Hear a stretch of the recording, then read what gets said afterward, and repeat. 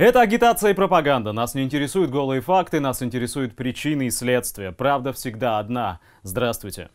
Парад 9 мая вновь продемонстрировал всем крепость брони и быстроту танков. В общей праздничной симфонии вряд ли кто-то мог различить диссонансные ноты. Наверное, не стоило бы отвлекаться. Под министром обороны новейший кабриолет почти отечественного производства Путина на переговоры с американским госсекретарем сопровождают 6 свежих Су-57, а объединенную авиастроительную корпорацию после крушения суперджета поддержат новыми заказами и новым руководителем.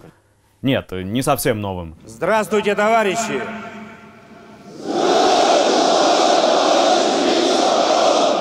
Какая разница? Все в надежных руках, даже если эти руки друг друга моют. Однако вот ложка дегтя от американского разведывательного агентства «Стратфор». С его докладом «Российская оборонка срывается в штопор». Российский оборонно-промышленный комплекс борется за выживание. Причина – снижение заказов, проблемы с привлечением квалифицированных кадров и технологические ограничения. По последним данным, аэрокосмическая отрасль России демонстрирует стремительное снижение. Так, в 2018 2018 году ей было произведено продукции на 13,5% меньше, чем в 2017. В первые два месяца 2019 года производство упало на 46%. По данным Стокгольмского института мира, впервые с 2006 года Россия не вошла в пятерку стран с самыми большими военными расходами.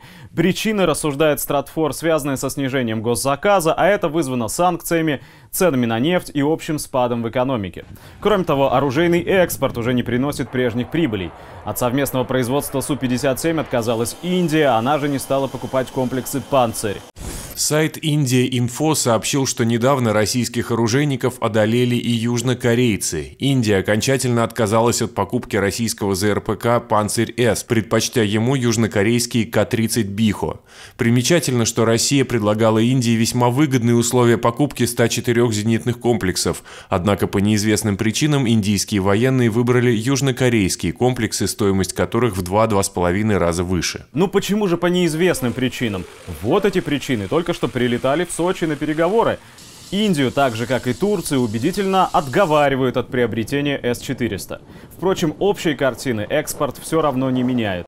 Все это сильно противоречит регулярным российским презентациям новых военных платформ. В реальности только несколько дорогостоящих оружейных систем, таких как танк Т-14 или истребитель Су-57, находят покупателей.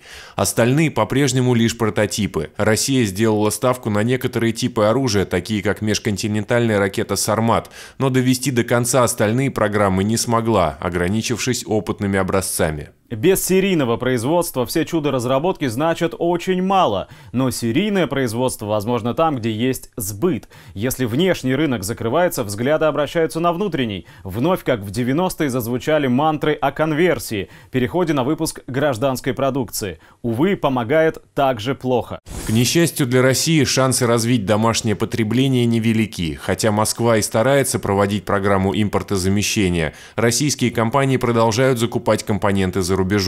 В 2018 году 38% промпредприятий отдавали предпочтение импорту. За два года до этого их было лишь 6%.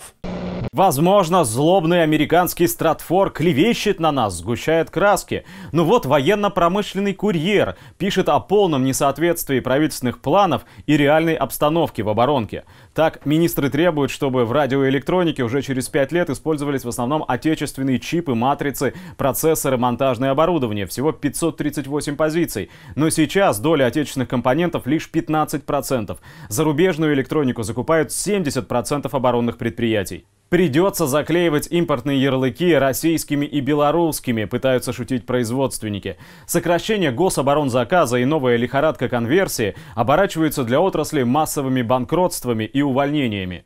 В марте-апреле эта тенденция распространилась на мотовилихинские заводы, специализирующиеся на выпуске полевой самоходной артиллерии, минометов, ракетных систем залпового огня. Расширяется программа увольнений на Пермском пороховом заводе. Начата процедура банкротства ПАО «Тантал» свыше 20 предприятий, находится в Саратовской области. Приостановлена работа Киреевского завода легких металлоконструкций. На грани банкротства к концу апреля один из крупнейших подрядчиков судостроителей АО «Новая эра». Мы работаем Работники Сосновского судостроительного завода и жители города Сосновка обращаемся к президенту Российской Федерации Владимиру Владимировичу Путину с просьбой оказать содействие в сохранении единственного градообразующего предприятия с почти вековой историей Сосновского судостроительного завода, который на данный момент находится в стадии банкротства. С 2017 года предприятие задолжало работникам по зарплате десятки миллионов рублей, в связи с чем его имущество арестовано. Несмотря на это, по нашему мнению, и на основании сведений очевидцев идет намеренный разгром имущества завода группой лиц по предварительному сговору. В общем, в такой обстановке уже едва ли следует удивляться и авиапроисшествиям, и бегству капитанов целых отраслей за границу. В научно-исследовательском институте космического приборостроения, разрабатывающем и производящем радиоаппаратуру и электронику, произошел беспрецедентный скандал. Как стало известно коммерсанту, его гендиректор Юрий Яскин под предлогом командировки поехал в апреле в одну из стран Европы, откуда прислал в Россию заявление об увольнении по собственному желанию, а после был замечен в Греции. Его отъезд случился на фоне начала работы на предприятии службы внутреннего аудита Роскосмоса. Теперь проверка будет проведена и в отношении господина Яскина, но уже не сотрудниками госкорпорации, а центральным аппаратом ФСБ. На фоне ситуации в остальных областях, связанных с производством, оборонка долгое время оставалась светлым пятном, надеждой, запасным двигателем нашей экономики. И вот этот двигатель начинает кашлять.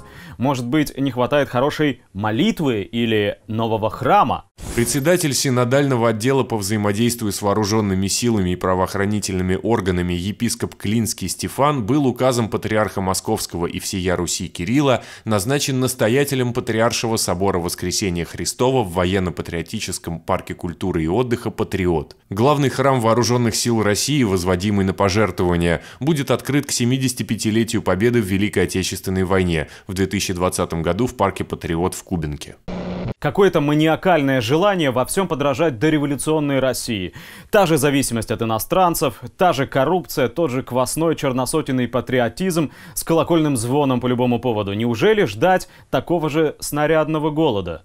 Впрочем, не все так однозначно, есть и успехи. Например, Росгвардия щегольнула на параде новыми автомобилями для разгона демонстрантов. Враг ведь не только снаружи, правда? Для российских силовиков разработан дрон-парализатор, снабженный электрошокером и ослепляющим лазером, рассказал советник гендиректора научно-производственного объединения специальных материалов Юрий Кленов. Беспилотник весом немногим более килограмма сможет нести дистанционный электрошокер, а также светодиодное или лазерное ослепляющее устройство, которое вызывает у человека временную потерю зрения без вредных последствий для здоровья. Год назад в аналогичных целях Росгвардия закупила «Газели» с лазерными излучателями. Хорошее подспорье к излучателям телевизионным. Но это чтобы никто не сомневался в ослепительных успехах нашего мирного и оборонного строительства. Как же ты смеешь власть уничижать? Вот обидно стало, что нынешний народ забылся в своеволии и неповиновении. Это была агитация и пропаганда. Скоро увидимся. Мир вашему дому.